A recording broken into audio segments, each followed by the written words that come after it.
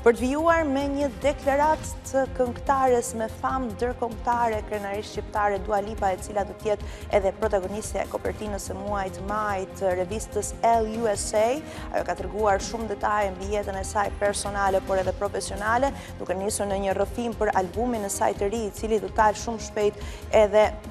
në qarkullim edhe në shitje, ndërkohë që ajo ka rrëfyer në fakt edhe mbi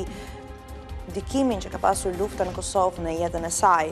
Në artikull shprehet se Dua Lipa ka thënë, kam dëgjuar përjetime nga miqtë në Kosovë që kanë humbur anëtarë të familjes, shtëpi të djegura, i pashë ata. Kur ke komunikim të drejtpërdrejtë me njerëz që e kanë përjetuar luftën, kjo hap një botë krejtësisht të re dhe kjo ndodhi ngjashëm edhe me më për mua. Ndihem shumë afër me ata që vuajnë ndaj padrejtësive në botë. apo ndaj pabarazive, qoftë luftë apo diçka tjetër, të gjithë kanë eksperienca të ndryshme. Ka të bëjë me mbështetjen dhe të mësuarit së bashku, ka theksuar Dua Lipa. Rikujtojmë në fakt se Dua Lipa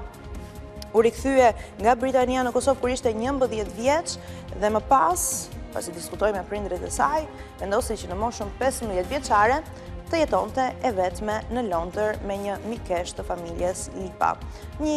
ngjarje e cila në fakt është komentuar në botën virtuale nga njerëz, të cilët pyesin veten se si prindërit e Dua Lipës e kanë lënë një 15 vjeçare të jetojë e vetme në mes të Londrës, dhe Dua ka shprehur se edhe unë të isha, në fakt tani që e mendoj nëse do të isha prind e do të kisha një vajzë 15 vjeçare, nuk do ta lejoja të bëjë këtë gjë,